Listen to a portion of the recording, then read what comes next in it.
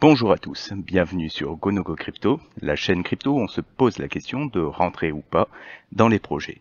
Des génériques.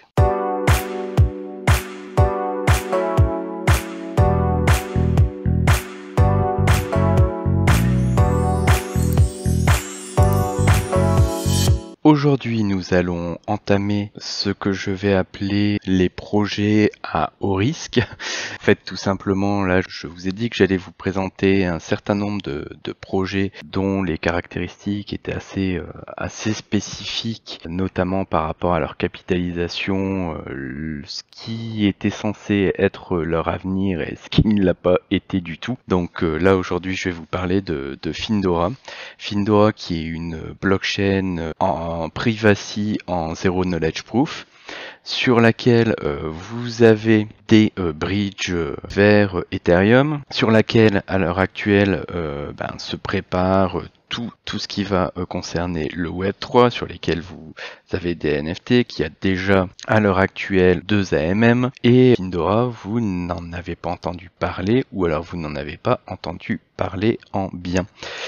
C'est tout simplement une blockchain qui a été lancée, euh, qui a connu un testnet un peu trop long où ça a été très très dur euh, avec euh, les développeurs et où concrètement quand le mainnet est sorti ça a été très très largement dumpé. Au point où ben, là c'est une blockchain qui essaye de, retrouver une, une communauté. Et ben, je vais vous expliquer tout simplement pourquoi. C'est à mon sens ça fait partie des paris sur lesquels on met une toute petite partie de son bag c'est-à-dire que vraiment euh, là on rentre dans les risques extrêmes. C'est vraiment euh, des choses qui peuvent partir à zéro sans aucun problème, mais euh, qui sur le papier on se dit il y a quelque chose qui est un petit peu choquant. Donc je vais passer sur la charte des prix, comme ça vous allez pouvoir effectivement voir que ben, Findora en termes de charte des prix, sa charte des prix vous allez me dire mais c'est pas si catastrophique que ça, ça peut ressembler, ça peut ressembler à pas mal ce qu'on peut retrouver depuis depuis le début de l'année. Mais euh, sur le fond, c'est euh, beaucoup plus grave que ça.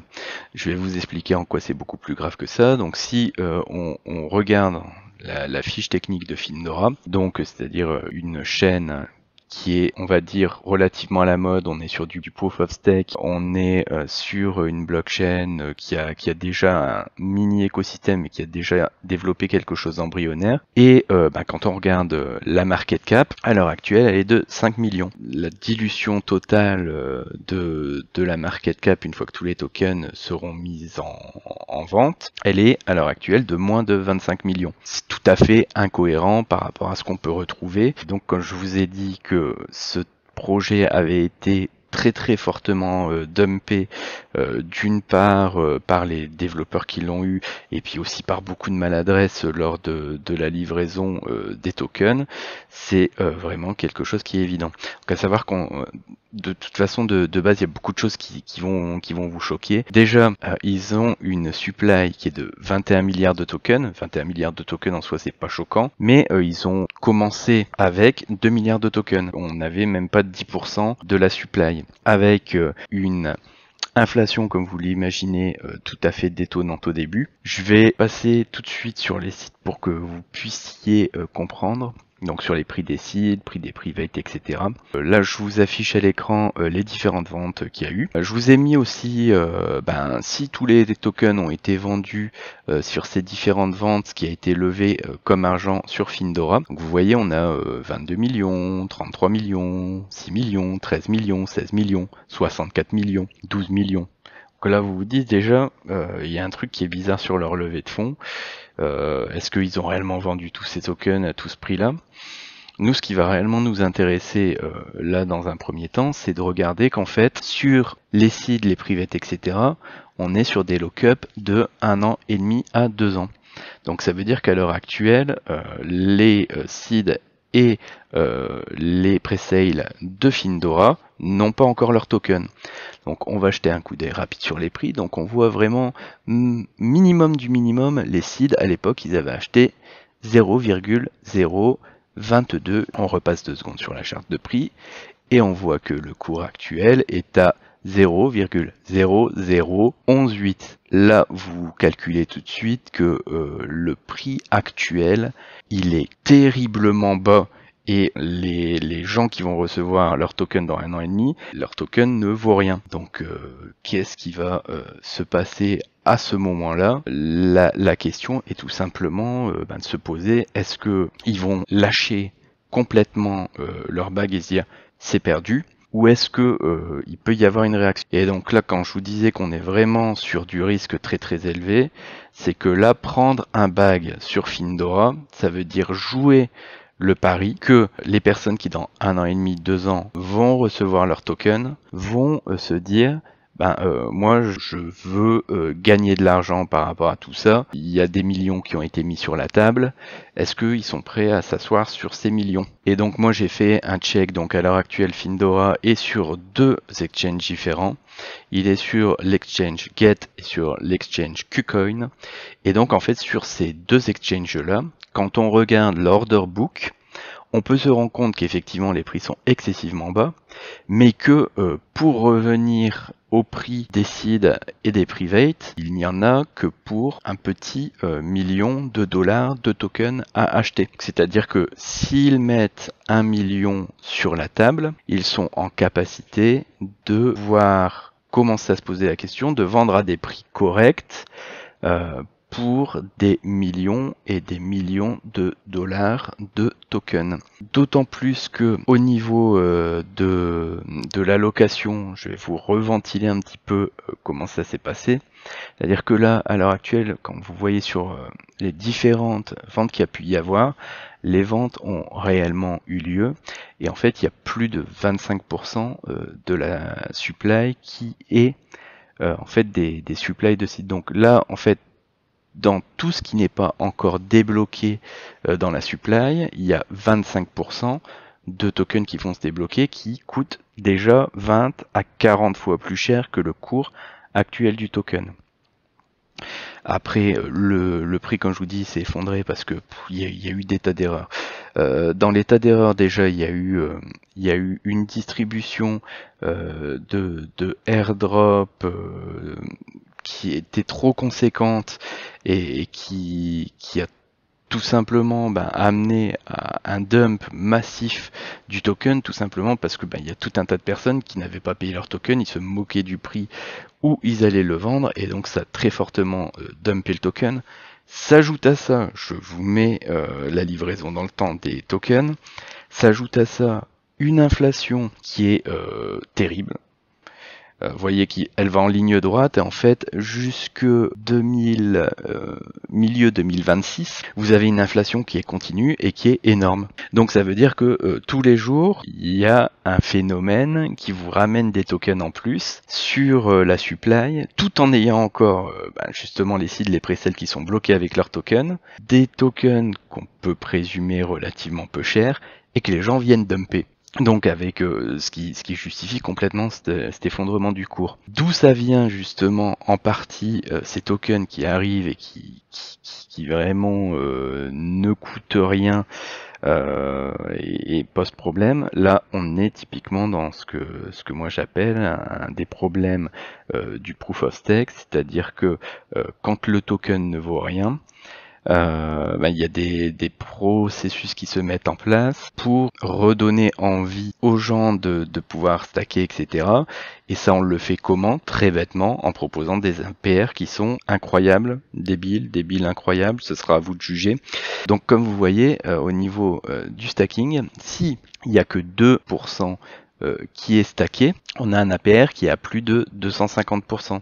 250% de tokens en plus par rapport à ce qui est stacké, ça donne euh, une pression, une impression de nouveaux tokens qui est énorme et euh, pour lequel vous n'avez pas forcément une demande en face, d'autant plus sur un token qui a été émaillé par, euh, par tout simplement ces devs euh, qui se sont barrés en claquant la porte en disant bah de toute façon moi on m'a donné euh, des tokens qui valaient rien. Donc ça fait chier. Et puis il y a tout un ensemble de trucs dans le projet qui me vont pas. Donc je claque la porte. Et donc il y a cet effet justement qui est terrible avec ce type de reward.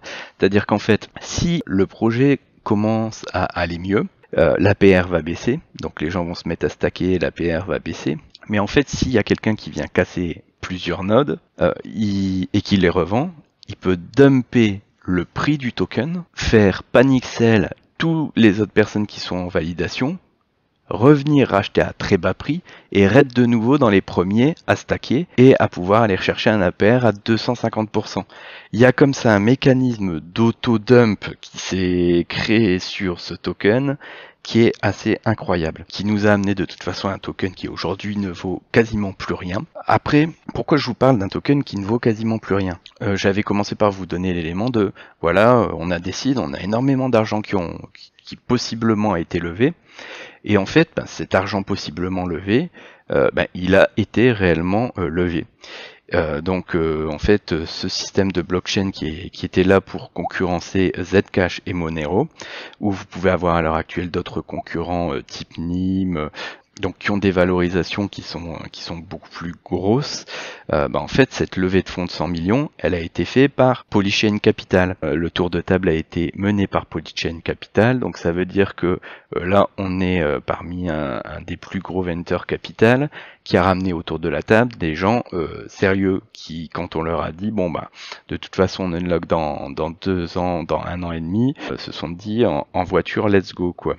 Ça veut dire aussi qu'on a autour de la table des gens qui aiment pas trop perdre de l'argent pour ça que je me dis, bon, on a, on a Polychain qui a, qui a mené la ronde, on a une validation du fait qu'effectivement, euh, bah là sur, sur les rounds privés, on a plus de 100 millions qui ont été levés, sur les rounds publics, il y a aussi un sacré montant qui a été, qui a été levé.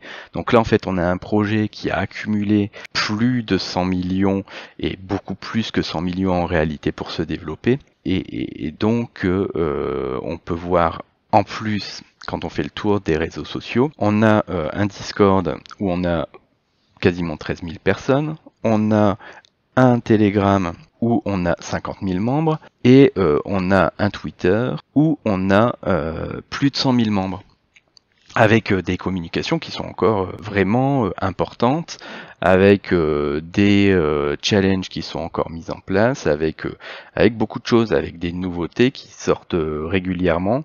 Alors tous les devs euh, initiaux euh, entre guillemets se sont un petit peu un petit peu barrés. Mais euh, ben là c'est là la force d'avoir eu d'énormes levées de fonds.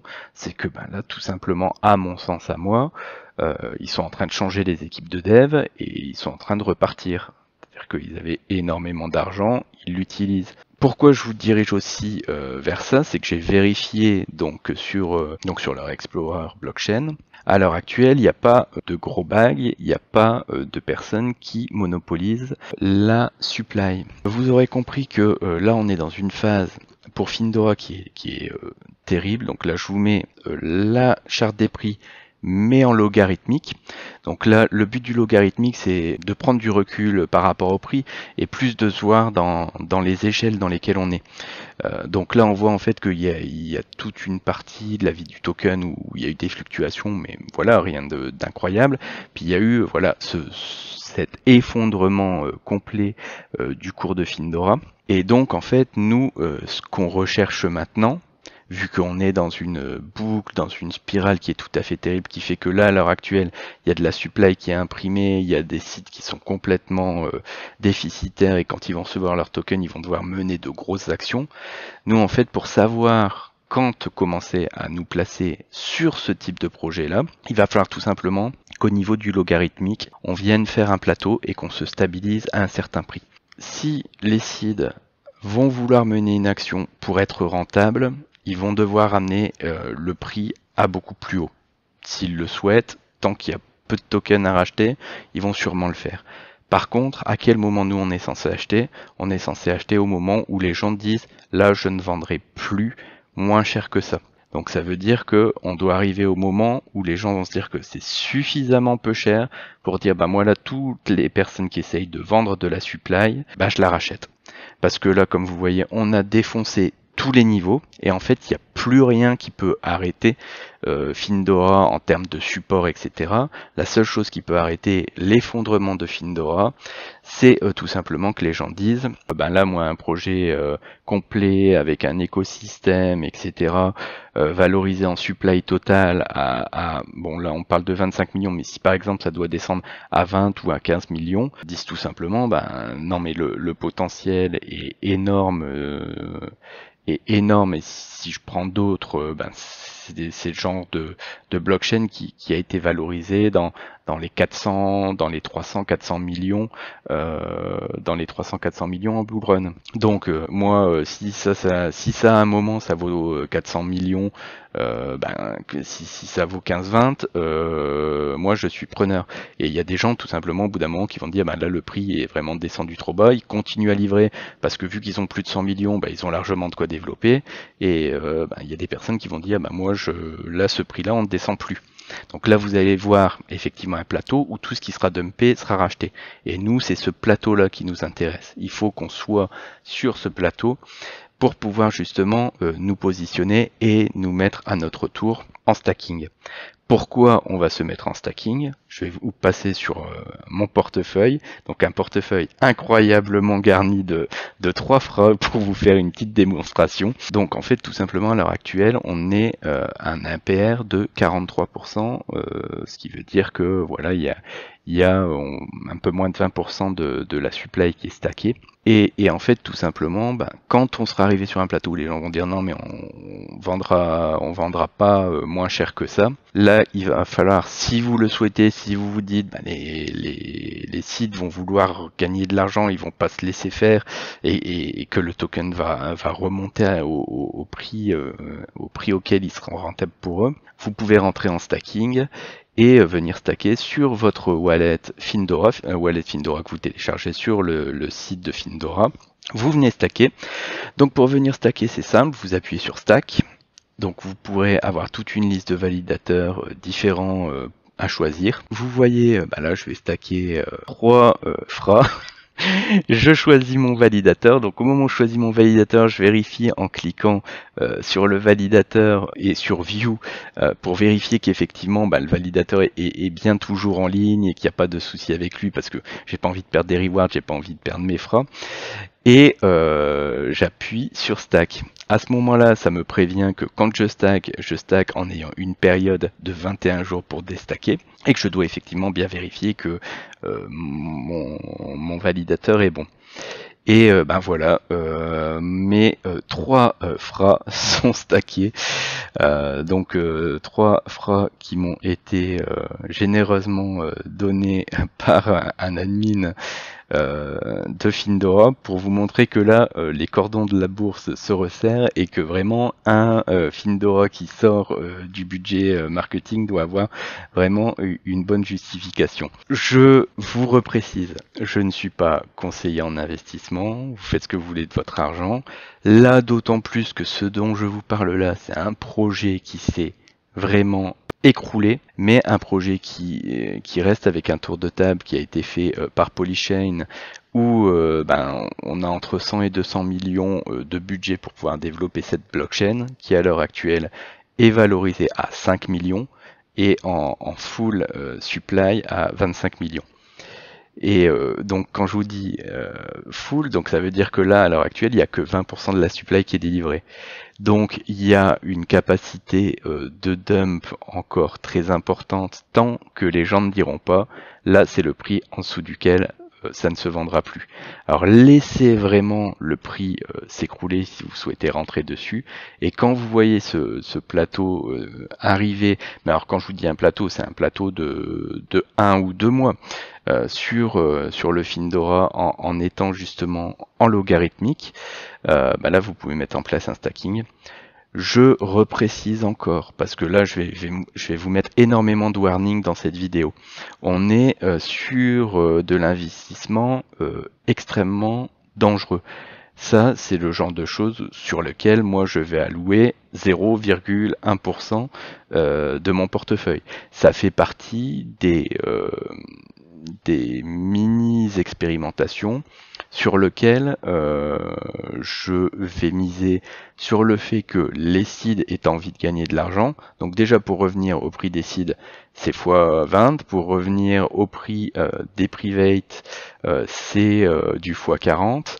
Et si je considère qu'ils ont envie de gagner un petit peu d'argent, c'est du x70, x80, x100 qui est vu. Par contre, les chances que ça arrive, elles sont minimes. Donc, euh, si euh, je mets, euh, on va dire 100 dollars sur la table et que j'espère en tirer 10 000, euh, je, je, suis tout à fait conscient que ça peut tout à fait arriver à zéro. Et surtout, je, je vais vous dire, ne mettez jamais plus de 100 euros sur ce type euh, de, de, montage, euh, parce que euh, bah, tout, tout est en place pour que ça aille à zéro. Mais euh, si les sites veulent récupérer leur argent, ils vont être obligés de mettre en place des choses sur lesquelles vous, vous pouvez monter au bon moment. Donc le bon moment, c'est pas maintenant. Le bon moment, c'est quand vous aurez un bon plateau. Et, et à ce moment-là, ben, faites, euh, faites ce qu'il faut euh, pour, euh, pour pouvoir prendre, prendre le train si le train doit partir.